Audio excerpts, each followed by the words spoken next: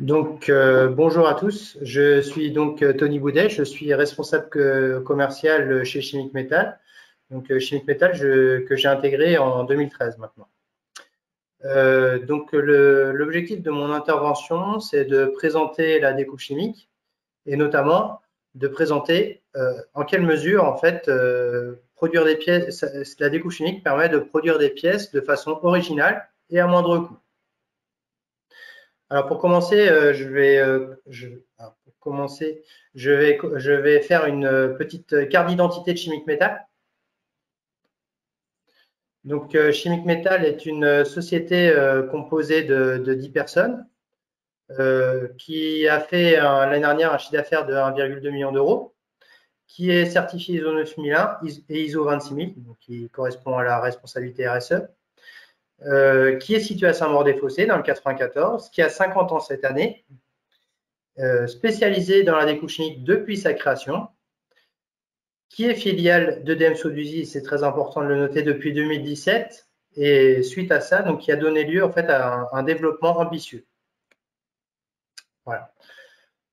Donc ensuite, euh, il est important de se poser la question, donc pourquoi présenter la découpe chimique C'est quoi la découpe chimique la découpe chimique, c'est un procédé simple, rapide et efficace.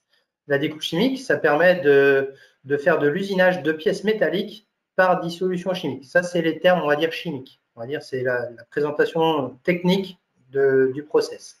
Et c'est une technologie qui est idéale pour découper des pièces en métal de fine épaisseur.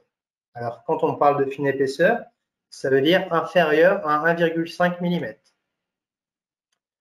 Euh, la découpe chimique, ça va permettre de découper quel type de pièces C'est des pièces qu'on va découper dans des feuilles de métal, euh, qu'on va pouvoir ensuite mettre en, forme éventuellement, et puis qui peuvent être revêtues soit en pièces détachées, soit en panoplie. par exemple, on va voir au milieu, avoir euh, on va avoir des pièces qui vont être découpées, qui vont être ensuite éventuellement dorées, donc de différentes dimensions. On voit qu'on a des petites pièces à gauche, on a une grande pièce. À droite, on a une panoplie de pièces qui a été traitée en panoplie et ensuite qui est détachée pièce à pièce. Quelles sont les applications de la découpe chimique? Alors, c'est très multiple. Chez Chimique Metal, les applications principales, ça va être la, découpe mécanique, enfin, ça va être euh, l'industrie mécanique, l'électronique, évidemment, donc, euh, à quelle vocation? À vocation spatiale, aéronautique, mais aussi ferroviaire. Et puis, il y a d'autres secteurs qui sont très importants pour nous, qui sont par exemple le luxe, mais aussi des secteurs auxquels on penserait moins. Ça va être par exemple le luxe, euh, ça va être euh, la bijouterie, ça va être par exemple les maquettes, maquettes architecturales ou maquettes ferroviaires, maquettes de train. Voilà. Donc là, par exemple, on va avoir quelques petites applications de pièces. Donc, on va avoir un capot, euh, euh, la grosse pièce en, haut à droite, ça va être un capot pour l'aéronautique. On va avoir euh, les petites pièces en haut à gauche qui sont vraiment minuscules, qui vont être pour l'électronique, qui vont être des pièces de, connectique. on va avoir un capot de blindage pour l'électronique, une pièce qui va être gravée, qui va être gravée, qui va être une pièce de luxe pour, par exemple, pour la maison Christophe. La découpe chimique, ça va être avec quelle matière? Donc, ça va être avec euh, des métaux, toujours des métaux. Ça, c'est fondamental de le comprendre. Nous, on va découper des métaux. Donc, ça va être des ferreux, ça va être des aciers, des inox. Donc, on va pouvoir citer par exemple les inox 301, les inox 304, les inox 316, etc. Des cuivreux, donc les cuivres évidemment, les laitons. Les laitons, le laiton, ça va être le métal qu'on va sûrement découper le plus dans l'année. Et puis d'autres euh, types de cuivreux. Les aluminiums, et enfin, on va citer d'autres métaux qui vont être un peu plus rares. Par exemple, on va pouvoir citer les bases nickel, on va pouvoir citer par exemple le molybdène qu'on commence à découper, et puis la découpe de l'or aussi, qui est un petit peu euh, plus rare, mais qui c'est aussi intéressant de le noter parce qu'on est euh, euh, un des seuls découpeurs chimiques mondiaux qui découpe l'or, éventuellement. Donc j'en ai déjà parlé un petit peu. Quelles sont les épaisseurs qui correspondent à la découpe chimique? La découpe chimique, on va réussir à découper le, métal d'une épaisseur minimum de 5 microns, extrêmement fin, jusqu'à 1,5 mm d'épais. Voilà. On pourrait éventuellement faire plus, mais ensuite, après, on va se retrouver avec des problèmes de compétitivité. Donc ça, on en parlera un petit peu plus tard. Je vais ensuite euh, passer un petit peu de temps à vous expliquer succinctement quel est le process de fabrication. Donc, la première étape, ça consiste à créer l'outillage de fabrication. Donc, on va voir sur la photo en haut à droite, on a un dessinateur qui va créer les pièces de découpe sur son ordinateur. Donc, il va faire un recto et un verso. Il va ensuite faire un flashage en négatif, c'est-à-dire qu'en fait, euh, la pièce à découper, elle va être en transparent, comme un négatif photo, tout simplement. La pièce à découper va être en transparent et ce qui va, ce qu'on va, la pièce à conserver va être en transparent, excusez-moi, et ce qui va disparaître va être en noir. Voilà. Donc là, on le voit très bien sur cet exemple-là. Donc euh, les pièces sont transparentes et ensuite, ce qui va être découpé est en noir. Et donc, on va avoir euh, ce qu'on ce qu'on obtient ensuite en épargne de gravure. Donc, tout ce qui était transparent est épargné en bleu et tout ce qui va disparaître est en noir. J'espère que, que ça paraît clair pour vous. Sinon, vous pourrez profiter de la période de, de, moment des questions où on pourra revenir là-dessus si vous le souhaitez. Ensuite, on va passer à la deuxième étape. Donc là, on rentre vraiment dans la fabrication de la pièce. Donc, on va commencer par aller découper le métal. Donc, des planches de métal qui vont être découpées, donc la quantité nécessaire. On va avoir X pièces sur l'outillage. Sur et donc, on va couper X planches, Y planches qui vont permettre d'obtenir la quantité finale à obtenir. Donc, on va découper soit, dans du feuillard, donc sur cet exemple-là, ou soit dans des, grandes feuilles qu'on va acheter, tout simplement. On va ensuite appliquer une résine photosensible. Photosensible, c'est-à-dire qu'elle est sensible aux UV. On va appliquer la résine photosensible sur les deux faces. Donc, on voit par exemple là, on est en lumière jaune parce qu'on on a besoin de n'avoir aucun UV dans cette pièce-là. Donc, on va avoir sur cette feuille de métal qu'on aura, découpée et dégraissée, on va avoir une résine photosensible sur les deux côtés. Je vais vous donner quelques informations supplémentaires.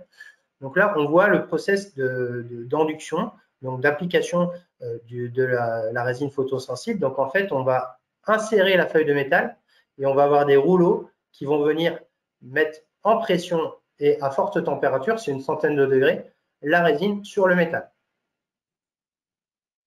On va passer ensuite à la quatrième étape qui est l'étape d'insolation. L'insolation, c'est l'exposition aux UV. Donc, on va faire, euh, on va mettre la feuille euh, pré-sensibilisée dans la pochette et ensuite, on va mettre la pochette dans la machine, faire le vide pour que la pochette soit bien collée à la feuille de métal et ensuite faire une exposition pendant une quinzaine de secondes environ aux UV. Et les UV, en fait, vont venir polymériser la résine sur le métal. Donc on voit un petit peu à droite, alors c'est un petit peu difficile à voir peut-être pour vous, euh, qu'on a dessiné euh, quelque part euh, les, motifs qui étaient en blanc sur l'outillage sur la, feuille. Ensuite, je poursuis mon analogie avec la photo argentique. On va faire en fait un développement, comme, un développement photo qui, consiste en fait à nettoyer tout ce qui n'a pas été exposé à la lumière. Voilà, donc on va faire sur une machine à convoyeur et on va obtenir en fait euh, une feuille de métal avec les pièces qui vont être euh, épargnées. Ensuite, on arrive vraiment dans l'opération fondamentale de la découpe chimique, tout simplement. Hein. C'est l'étape de découpe elle-même. On va mettre donc les planches euh, dans la machine et on va ensuite, la machine va faire une projection de chlorure ferrique sur les deux faces du métal. Donc la projection de chlorophérique, elle va venir dissoudre petit à petit, faire une dissolution chimique du métal non protégé, jusqu'à ce qu'on obtienne à la fin les pièces qui sont terminées, comme on voit sur l'image en bas à droite. Je vais vous donner quelques informations supplémentaires donc avec euh, cette petite description. Voilà, donc là, on va, voir une feuille de métal, on va dire en coupe, avec donc l'épargne des deux côtés. Donc d'un côté, on va avoir ici par exemple, on va avoir ce cas-là où on va avoir la découpe, le cas du milieu on va avoir la découpe. Donc, on a une ouverture double face. À gauche, on va avoir une ouverture simple face. Ça va nous permettre notamment de faire la gravure. Et à droite, on va avoir des ouvertures différentes de chaque côté, ce qui va nous permettre d'obtenir des formes un peu différentes. On va voir ça un peu plus. Donc, on va commencer à faire la projection du chlorophérique. Et ensuite, euh, le chlorophérique va commencer à faire la dissolution. On, perd, on perd le métal au fur et à mesure. Voilà. Et donc là, notamment, par exemple, c'est intéressant de noter qu'on va aussi euh, grignoter, on va dire, le métal sous l'épargne de réserve. Donc c'est important, en fait, pour nous, d'anticiper cette disparition en amont. Voilà. Donc là, par exemple, on est dans une étape où on peut arrêter la découpe. Pourquoi? Parce que la gravure a atteint la moitié de l'épaisseur, sur à gauche. Au milieu, on a effectué la découpe. Il nous reste éventuellement une petite pointe, mais qui n'est dans la plupart des cas pas gênante dans l'utilisation. Et à droite, on a une gravure également. Mais on peut aussi choisir, parce que suivant les cas, de continuer à découper. Et là, qu'est-ce qu'on obtient? On obtient des bords qui sont quasiment droits. Ici, au milieu, on a fait disparaître l'effet de pointe, on appelle l'effet de lèvre. À gauche, on va avoir une gravure très profonde, à droite aussi. On va à droite, par exemple, pouvoir enlever l'épargne temporaire, ce qui nous permet, quand on continue encore de graver, à gauche, de faire une découpe simple face, et à droite, de faire une découpe biface, mais avec euh, des cotes différentes au-dessus et en bas. Voilà. On peut arriver à un cas comme, celui-ci. Ce, qui va être, intéressant, c'est qu'on va pouvoir, par exemple, euh, obtenir des, zones chanfreinées, comme à gauche, et des zones avec quasiment des lamages, comme à droite. Donc, pour insérer des vis, ça peut être intéressant. Donc, j'enchaîne. Je, donc, euh, là, on voit donc pour que vous puissiez bien comprendre. Alors, je ne sais pas si sur votre écran, ça sera, visible, donc je ne vais pas y rester longtemps. Donc, à gauche, l'outillage. Au milieu, la, zone les pièces épargnées. Et à droite, donc une pièce que j'ai enlevée en cours de gravure. Donc, on, a, euh, on retrouve euh, sur les zones qui étaient épargnées, on retrouve le métal d'origine et on voit qu'on a euh, un changement de couleur aux endroits qui n'étaient pas épargnés parce que c'est les endroits qui sont devenus bruts suite au métal qu'on a enlevé. Dernière étape, le strippage. Le strippage, en fait, euh, qui permet euh, de enlever la résine d'épargne et retrouver les pièces d'origine, tout simplement. Donc là, on a des pièces découpées, terminées. Donc là, ce qu'on va pouvoir, je, recommence mon, analogie, le film de fabrication avec la pièce en blanc, en transparent plus exactement. Ensuite, la pièce qui est épargnée sur le métal. Ensuite, j'ai positionné par-dessus la pièce découpée avec son épargne. Et enfin, la pièce terminée après strippage. Voilà, on, va dire on a les quatre étapes fondamentales de la découpe chimique. Alors, qu'est-ce qu'on peut en faire de ces pièces de découpe chimique? Eh bien, on peut les plier. Voilà, on a quelques exemples ici. On peut les cambrer, comme la photo en haut à gauche. On peut aussi refaire du perçage, du taraudage. On peut, euh, on peut aussi faire du traitement thermique du traitement de surface, de la peinture. On peut aussi faire des assemblages, du polissage. toutes, les opérations derrière peuvent être, euh, effectuées pour obtenir la pièce finie. Notamment, on voit que par exemple dans le luxe, ça peut être intéressant. Alors, quels sont les avantages? J'ai ciblé trois avantages principaux.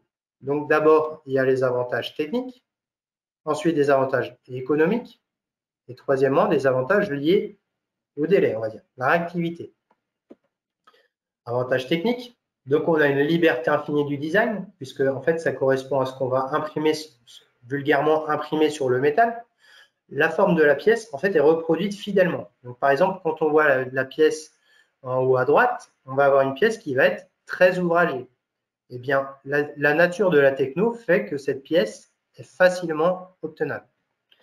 Ensuite, on, a aussi la, flexibilité par rapport aux métaux. On peut traiter la plupart des métaux qui sont utilisés couramment dans l'industrie.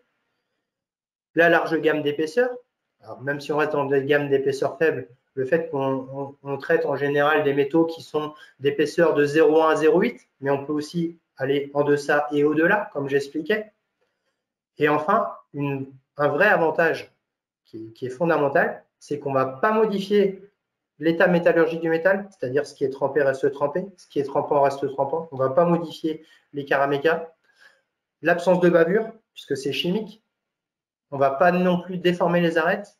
On ne va pas créer de ZAT, de zones affectées thermiquement, par exemple comme ça peut être le cas au laser ou parfois euh, en usinage. Et aussi, avec euh, le système des, euh, des gravures, on va pouvoir faire du pliage sans outils, comme on peut voir sur la photo en bas à droite. On va en fait faire comme un, petit mécano soudé qu'on va, un petit, un petit, va pouvoir ensuite après replier sur soi et ensuite on fait une petite brasure. Avantage économique. Donc pourquoi? Parce qu'on va avoir des tarifs compétitifs pour les prototypes et les petites séries. Avantage euh, au niveau des frais d'industrialisation, parce qu'il y a seulement un outillage à, créer et cet outillage est très peu coûteux puisqu'il consiste en fait à euh, un dessin sur ordinateur, un flashage, un assemblage. Voilà, donc c'est quelque chose de très basique. Ensuite, pourquoi c'est économique? Parce qu'on va savoir faire, comme je l'ai dit précédemment, du pliage sans outils. Et enfin, on va pouvoir faire aussi du traitement de surface en panoplie. Donc ça nous permet de réduire les coûts de traitement par pièce, si tant est que ce soit possible. Et enfin, ce qui est très important aussi dans, dans le cadre de la maîtrise du time to market, c'est les délais très courts. Délais très courts, notamment pour les prototypes, on, sait répondre aux besoins de nos clients et donc on sait avoir des délais très courts euh, euh, et notamment aussi, on peut aussi effectuer en, interne le, pliage. Et puis, euh, on a des délais courts en général pour les productions habituelles. Pourquoi? Parce que notre process de fabrication est très simple. L'outillage est existant et réutilisable excusez-moi, d'une commande sur l'autre. Et donc, ça nous permet de maîtriser très facilement nos délais de production.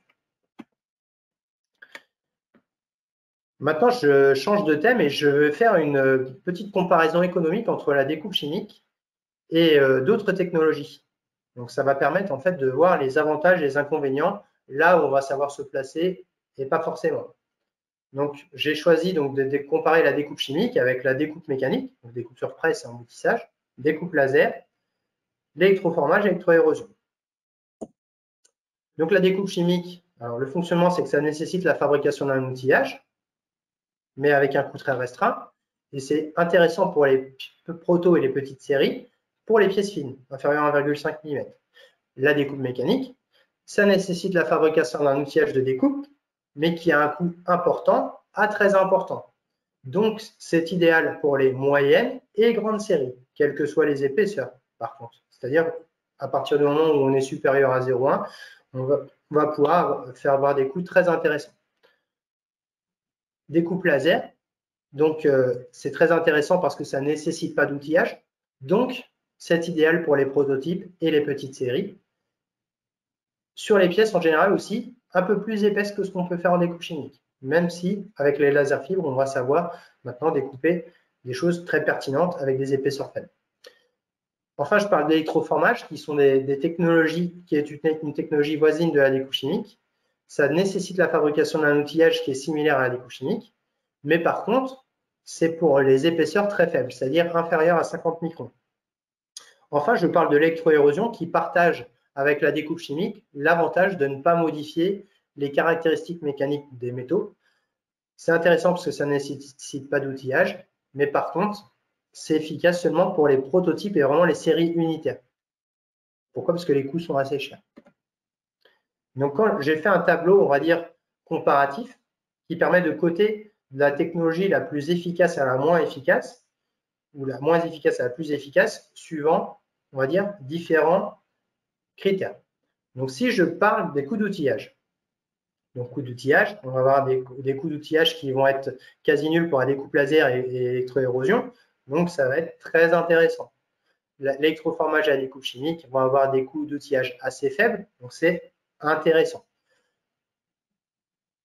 La découpe mécanique, par contre, a des coûts d'outillage très importants, donc c'est-à-dire qu'il faut bien réfléchir avant de les faire. Ensuite, quand on parle d'un coût pièce pour les prototypes et les petites séries, la découpe chimique, là, est idéale, si tant est que l'épaisseur corresponde aux besoins. La découpe laser va aussi être intéressante. L'électroformage, électroérosion, à partir du moment où c'est de la pièce unitaire, c'est aussi intéressant. La découpe mécanique l'est moins pour cette, pour cette typologie. Par contre, Si là, je, parle d'une très grande série ou d'une grande série, moyenne à très grande série, la découpe mécanique est parfaite pour ce type de, technologie, enfin ce type de série, excusez-moi. La découpe chimique va continuer à avoir certainement de l'intérêt, éventuellement de la, découpe laser suivant la typologie de la pièce. Par contre, l'électroérosion, évidemment, et l'électroformage n'ont pas, leur place dans cette typologie. Si nous parlons des temps d'industrialisation, euh, chaque technologie a des temps d'industrialisation très courts, sauf éventuellement la découpe mécanique, qui a des temps d'industrialisation qui sont plus longs. Par contre, à, contrario, la découpe mécanique permet d'avoir une productivité très importante, mais la découpe chimique reste aussi intéressante. La découpe laser peut être intéressante aussi sur des, sur des, euh, sur des îlots, on va dire, très, très mécanisés, L'électroformage et l'électroérosion sont là beaucoup, beaucoup, beaucoup moins intéressants. Plutôt pas du tout intéressants, on va dire différents. En conclusion, la découpe chimique, c'est une techno qui a parfaitement sa place pour la découpe de proto et de petites séries sur les pièces de faible épaisseur, car en fait, c'est la combinaison de la souplesse et d'une productivité. Mais seulement, on est d'accord, sur ce genre de taille de lot. En fait, elle se trouve en fait à l'interface entre la fabrication unitaire telle qu'elle peut être sur la découpe laser, par exemple, et la fabrication en très grande série, qui va être euh, celle qui va être faite en découpe mécanique, donc découpe sur presse, emboutissage. Par contre, sa liberté de design et, le fait qu'on fasse fasse pas d'attaque mécanique, donc le fait qu'on ne va pas modifier les caractéristiques mécaniques, fait que parfois, elle est vraiment incontournable dans certaines applications des applications de pointe qui peuvent être par exemple sur des matériaux magnétiques, qui peuvent être dans des applications médicales, etc. Je, parle maintenant un petit peu de DM Soduzi et de Chimique Métal. Donc en 2017, EDM Soduzi rachète Chimique Métal. Ça nous permet de devenir un des leaders français de la découpe. Pourquoi? Parce qu'on va savoir en fait découper l'ensemble du, on va savoir en fait découper quelles que soient les épaisseurs, quels que soient les métaux, tout ce qui est nécessaire de. en fait, on va savoir être efficace sur l'ensemble du panel. Voilà, j'en parlerai un petit peu plus tard. Et enfin, euh, on a mutualisé nos moyens, nos compétences et on a développé ensemble une stratégie de développement qui permet de proposer des solutions complètes à nos clients. Pourquoi? Parce que nous sommes équipés en découpe laser fibre. Donc, c'est intéressant pour euh, les séries unitaires et puis découper un peu du épais, du fin, de l'unitaire, du voilà, un moyen très flexible en gros. La découpe chimique que je vous ai bien présenté et la découpe mécanique. Donc voilà, ça va nous permettre de découper aussi tous les métaux de 5 microns d'épais jusqu'à 9 mm d'épais. Et donc, on va pouvoir proposer à nos clients des solutions technico-économiques pertinentes depuis la pièce unitaire jusqu'à la grande série. Voilà, je vous remercie. Euh, je suis à votre écoute pour une séance de questions-réponses. Merci, Monsieur Boudet, pour cette présentation euh, différente de ce qu'on a pu voir jusqu'à maintenant. Et effectivement, la découpe chimique était un sujet que je n'avais pas encore vu euh, dans ces quatre jours de webinaire. On avait vu d'autres sujets. Donc, effectivement, c'était très intéressant. Euh, on n'a pas de questions de notre côté pour l'instant, mais j'incite les participants qui ont vu et qui ont assisté à cette présentation à poser leurs questions éventuellement dans, dans, dans la fenêtre de chat.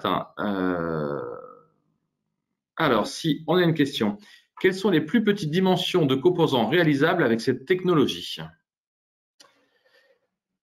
Alors, euh, alors, comme je l'ai dit, au niveau des épaisseurs, euh, on va, au niveau des épaisseurs, on va pouvoir descendre euh, à 5 microns vraiment d'épais. Donc, c'est vraiment quelque chose d'ultra fin. c'est plus fin qu'une feuille de papier, évidemment. Enfin, voilà, c'est vraiment, vraiment voilà, et, euh, c'est vraiment très fin. Et au niveau des dimensions, en fait, on n'a pas vraiment de dimension minimum. C'est-à-dire qu'on pourrait, par exemple, faire une rondelle de diamètre euh, ou une pièce de, dimension 2 euh, mm par 2 mm ou 1 mm par 1 mm. Voilà, en fait, il n'y a pas de limite. on va savoir, par exemple, si je peux vous montrer un, petit exemple. Si je fais comme ça. On va pouvoir, en fait, on va pouvoir avoir des tailles de, des tailles de traits vraiment très fines. Alors si je, éventuellement, je peux vous montrer aussi une, photo, une photographie. Voilà, je ne sais pas si vous voyez mon écran. Allô? On vous entend, on voit votre écran sans aucun problème, Monsieur Baudet. Voilà, ok. Ben, là, par exemple, on est sur un exemple de lame de pile. C'est une lame de pile qui fait environ 5 mm. Donc, c'est vraiment du très petit. Mais on sait encore aller encore plus petit que ça. Ah. Alors, on vous a perdu, Monsieur Baudet, d'un seul coup. Ah. Non, c'est bon, on, vous revoit, vous avez dit, on s'est coupé, vous m'avez dit 5 5, on voit que là, c'est une pièce qui fait à peu près 5 mm.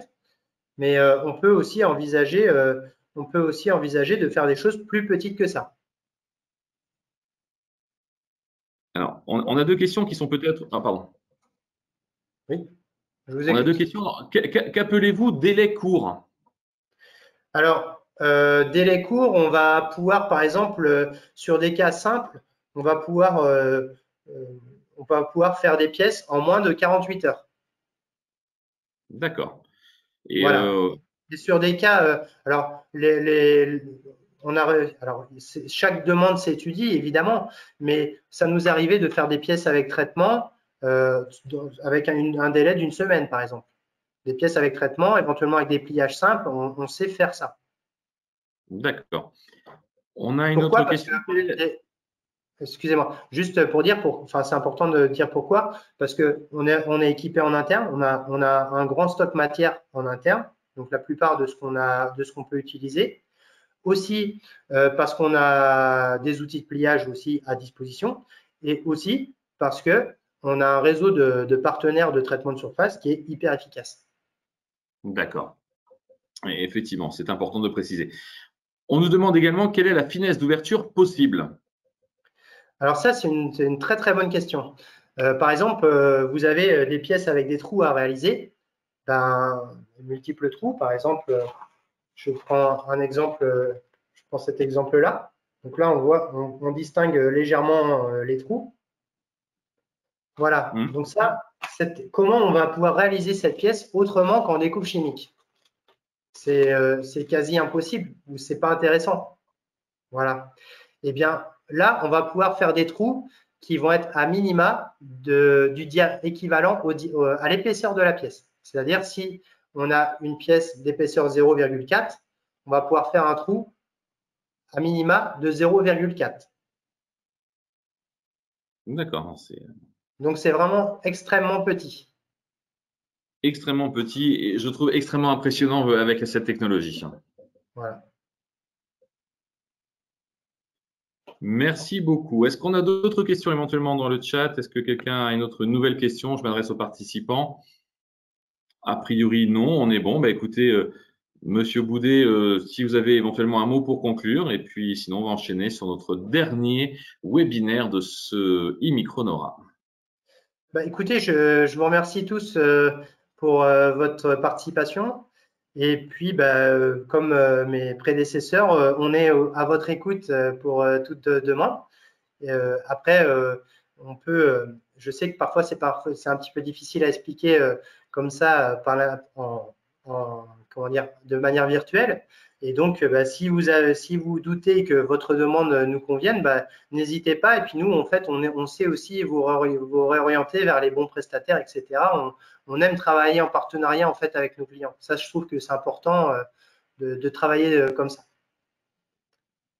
N'hésitez pas à nous consulter. Puis, euh, bah, moi, je peux aussi refaire aussi une présentation pour ceux qui le souhaitent. Je peux leur refaire une présentation un peu plus personnalisée si besoin. Voilà.